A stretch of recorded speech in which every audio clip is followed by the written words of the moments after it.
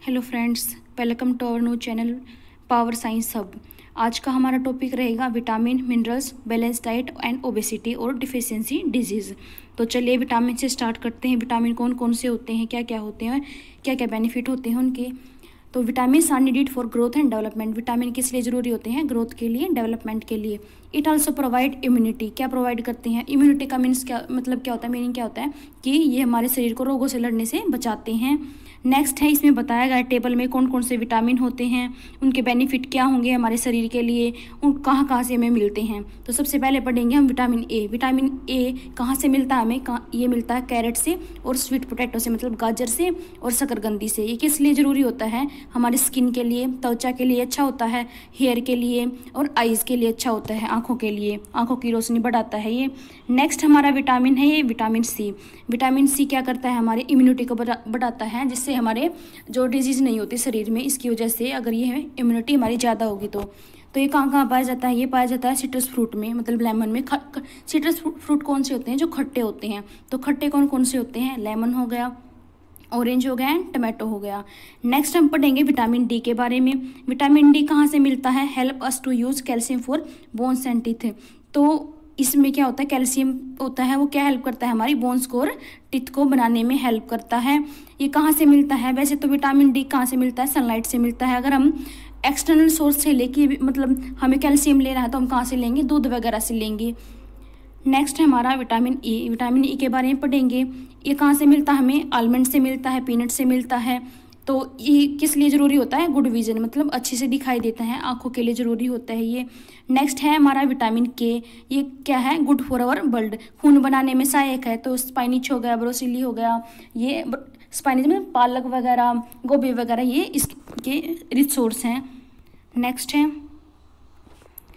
there are group of vitamin called मतलब एक vitamin का पूरा ग्रुप होता है उसको क्या बोलते हैं विटामिन बी हमने विटामिन बी नहीं पढ़ा था। इसमें विटामिन बी के बारे में बताया गया है। Containing group of eight vitamin मतलब एट विटामिन जो बी होता है विटामिन बी वो एट विटामिन से मिलकर बना होता है। Vitamin B one vitamin B two B three B five B six B seven और बी नाइन और बी ट्वेल्व से। जो द विटामिन है play an important role in set cell metabolism cell metabolism में इम्पोर्टेंट रोल प्ले करता है, जो vitamin B है। नेक्स्ट हम देखते हैं विटामिन ए रिसोर्स कौन कौन से होते हैं? हमने बताया था कैरेट और शकरगंदी बताई थी, गाजर और शकरगंदी नेक्स्ट है विटामिन सी कहाँ कहाँ से मिलता है? हमने बताया था कि सिट्रस फ्रूट होते हैं, जो खट्टे फ्रूट होते हैं, कौन कौन से होते हैं? टमाटो हो गया ऑरेंज हो गया लेमन हो गया। नेक्स्ट है हमें विटामिन डी कहाँ से मिलता है? वो सन से मिलता है, इसमें दिखाया गया है। और कैल्शियम हमें एक्सटर्नल से लेना पड़ता है मतलब वगैरह दूध वगैरह से लेना पड़ता है कैल्शियम नेक्स्ट हम पढ़ेंगे मिनरल्स के बारे में। मिनरल्स क्या होते हैं?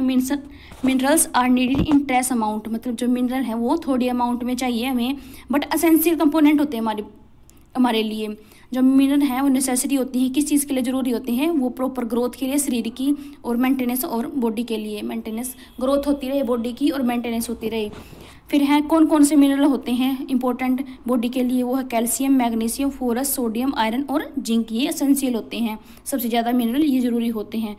तो हमें कैल्शियम कहाँ कहाँ से मिलता है? मिल्क से और एग से। सबसे ज़्यादा कैल्शियम कहाँ मिलता है? मिल्क से और एग से।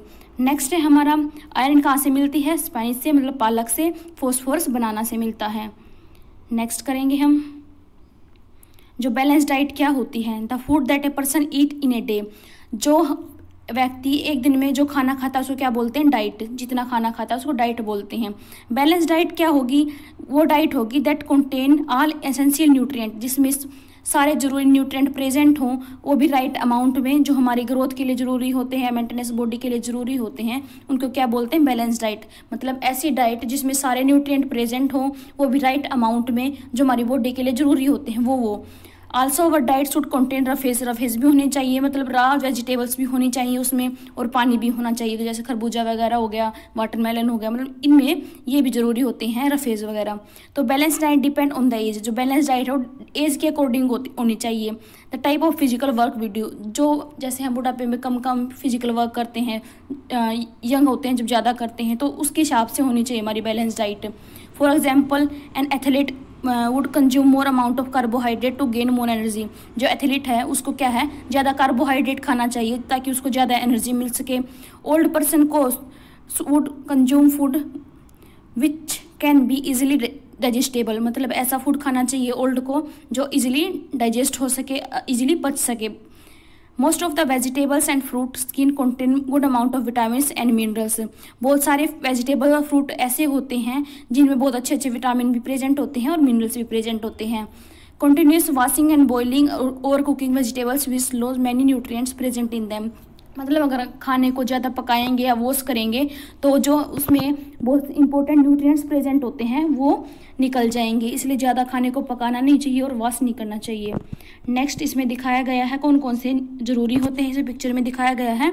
ये वेजिटेबल्स दिखा दी, ये फ्रूट्स दिखा दिए सिट्रस फ्रूट भी दिखा रखे हैं इसमें एप्पल वगैरह। इसमें भी बनाना वगैरह फ्रूट्स दिखा दिए, इसमें भी दिखा दिए फ्रूट्स तो ये सारे ज़रूरी होते हैं बैलेंस डाइट में।